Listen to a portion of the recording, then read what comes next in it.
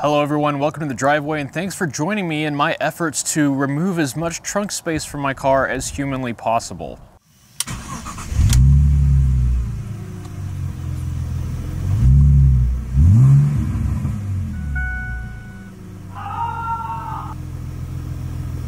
Back here I have a Skar SDR12 in a sealed box from Amazon. Now, this does all right. It's a high excursion 12 inch subwoofer. I mostly have this as a filler filling in where the uh, factory 6x9s can't reach. With most music, you can't even tell this is back here until you really crank it up or listen to something with a whole lot of bass. But most of the time you can turn this thing on and off and not even tell it's there. Problem is, this is tuned to about like 45 hertz or so, and I really wanna go lower. There's also the little issue that I have this little Kicker CX300, which is a 300 watt RMS amplifier. This is a 600 watt rated sub, so I am massively underpowering this. So I kinda wanna fix both of these things. As it happens, Skar Audio, who makes the subwoofer, actually makes a complete bass package that I really should have bought off the bat that comes with a matched box and a, I think 800 watt RMS amplifier. Um, but I didn't do that. I just bought the subwoofer. But I was bored the other day, so I bought the rest of it. So the sealed box is gonna go bye-bye, and the 300 watt kicker is gonna go bye-bye, and we're going to uh, ho hopefully go boom a bit more. You all forgot I owned a Miata, didn't you? All right, let's see what we got here. Start this off with an unboxing. Uh, I do want to point out, I paid for all of this. Skar isn't sponsoring or send me any of this stuff. I just kind of like them as a company. You know, it's a, it's an American company. Uh, I don't think this stuff is made here, but at least it's, you know, American jobs for the most part. So that's nice. And their prices are really reasonable. I think this whole bass package is like $350. There'll be a, uh, there'll be an Amazon link in the description. If you're interested by the end of this video, Hmm. Yep, yep, yep, yep, yep. Okay. Comes with a sticker. Ooh, quite a nice design, wow. Their logo actually embroidered on the side. Some really nice push posts, not much wiggle to them. 21 June on a sticker here. I don't know if that means it was made in June of 2021. I'm assuming so. SK1X12V, wonderful model name. Very, uh, very easy to remember, rolls off the tongue. This is pretty well made. I gotta say, I'm impressed. You've got uh, a nice radius to the port here. Looks like it's radiused back in the port as well. You've got uh, snacks. Delicious. Don't forget those. The padding is actually stapled in there. You can see where they used glue everywhere. Gosh, even the entry to the port in the back there is uh, chamfered around the edges. I'm uh, pretty impressed here so far. So let's take a look at the amplifier now. So this is the amp, 800 watt RP 800.1D. Do not mount to subwoofer enclosure. Yep, I've made that mistake before. I haven't blown anything, but I did destroy some cables when I was pulling the sub out of my car and uh, forgot the amp was attached to it. Let's see here.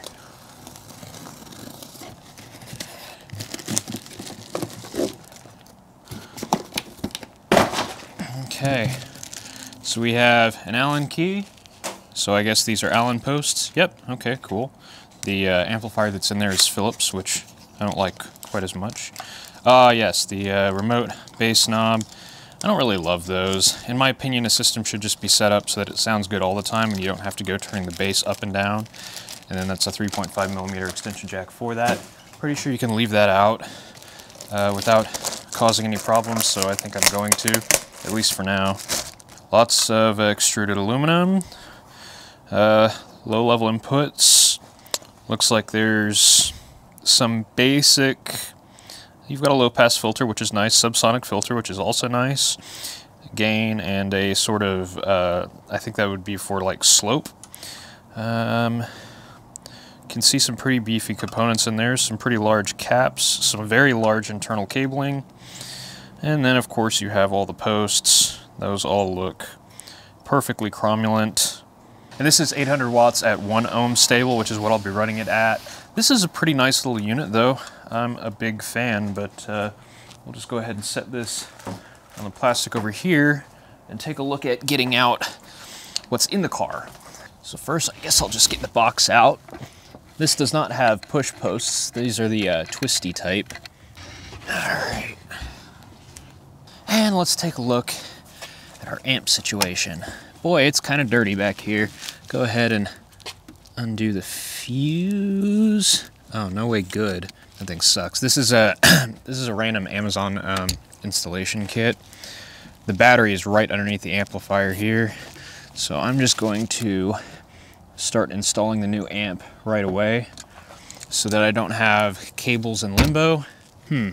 So I've crimped connectors onto the end of these and this is just designed to take, well I guess you would crimp on lugs really, but that is clearly not what that's designed for. So I'm gonna have to cut and strip these it looks like, which is a bit of a pain, but hey, you know, for the end result, I guess it's fine. Okay, let's unscrew this from this little piece of plastic whatevers that I've had it mounted to. Undo the RCAs. And there's the old. I'm gonna wanna mount this back on here somehow, so let's get an idea for how that's gonna work. I'm thinking just do like that, should be fine. Probably shouldn't have put all these uh, cables on here just yet since I still need to make those holes. Oops. I could definitely put a bit more effort into this mounting plate and installation, but for the now, these are uh, 4 gauge wires, which appear to be a perfect fit in here. So we've got our battery 12 volt, our ground, our remote, and our speaker wires all nice and snug in there. Make sure they're not going to come free.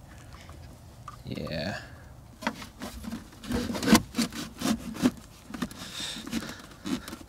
There's a channel there that's actually quite handy. I've got the remote wire tucked away.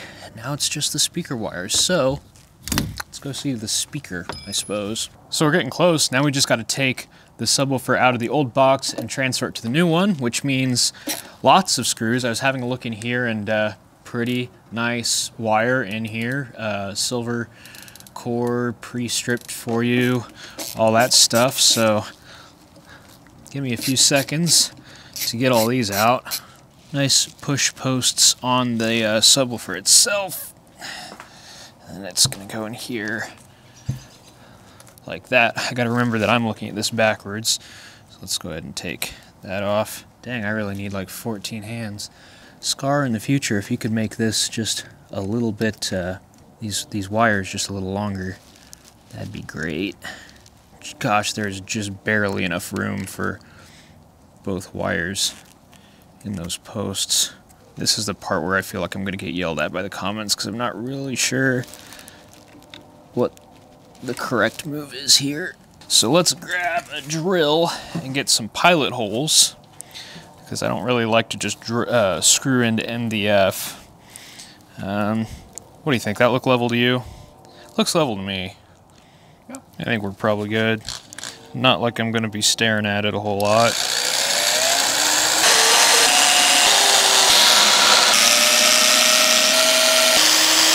There we go. Ah, they go in so easy with pilot holes. That's fantastic. Lets me use the uh, double ratcheting on this cobalt screwdriver. Oh, it's also uh, another benefit of the pilot holes is it's very, very obvious when you're at the bottom. If you're just trying to uh, use the screw itself to make the hole, a lot of times you'll just strip the MDF out because the resistance of it actually bottoming me out and the resistance of making the hole happen are so close together. It's also why I'm using this screwdriver right now instead of a uh, drill or a bit driver.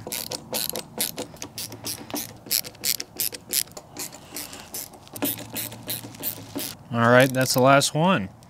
And that means it's time for the fun part, dumping it in the trunk and uh, tuning the amplifier up. So let's see how heavy this beast is with a sub in it. not bad. That's unfortunate. The uh, the posts are on the opposite side as the old one. Let's see if I can make that work. Signs point to not really. Sometimes innovation is required.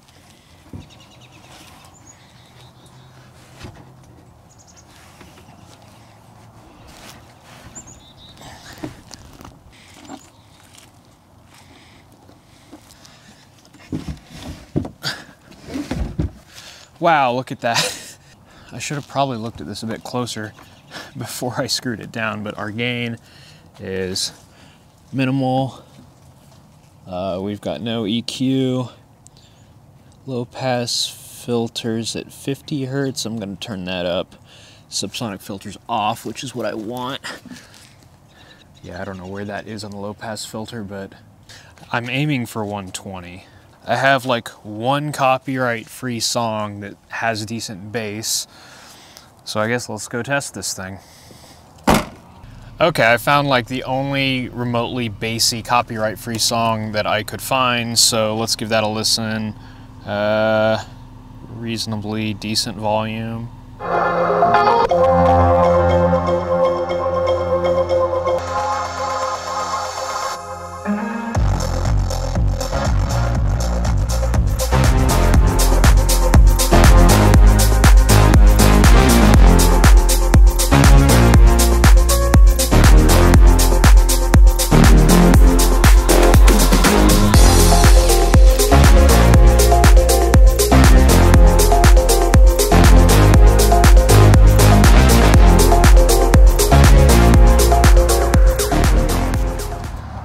Well, I've done a bit of listening with a variety of genres and volume levels, and I'm actually really impressed with this. Uh, typically, a vented or ported enclosure like this is going to be a bit woofier and less controlled than a sealed enclosure, but I think actually properly amping my subwoofer sort of negated a bit of that because I'm getting really crisp kicks and I can actually hear my kicks now. That was kind of a downside of the sealed system was my kicks were controlled but very quiet compared to, you know, a EDM bass line that's more of kind of just a sine wave.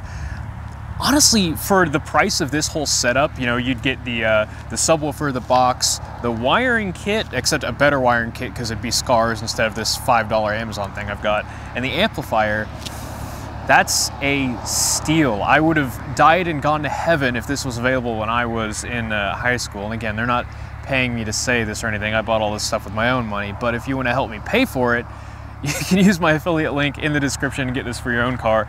You do take a bit of a hit on trunk space, but having that low end, I mean, especially with the genres of music that I like, if you're not getting that low end, you're missing a lot of the song. And then we listened to some, you know, uh, Kings on Fire and stuff like that, and you really couldn't tell the sub was there. If it's mixed to have a really strong bass drum, you'll have a bass drum, but overall it's very similar effect to actually being at a concert for a given band. If you're listening to like rock or something like that. Uh, some, some Dire Straits music, uh, they have a bit of a stronger mixed kick, and that can be amazing when it hits you over the back of the head, uh, especially with all the other components in this car, which are due for replacement. Honestly, the components in this car are probably more of a detriment to the audio quality than the sub was, but uh, this was more fun, so I did it first. So there we go, that's a quick little review of the Skar 12-inch uh, SDR12 bass package. I, I rate this. I totally recommend this if you've got the trunk space. They have smaller versions as well, and if they're as good as this, I mean, I might pick up the 8-inch one for the Insight. Apparently the shape of that thing is really conducive to audio builds. Who knew? Thanks for watching.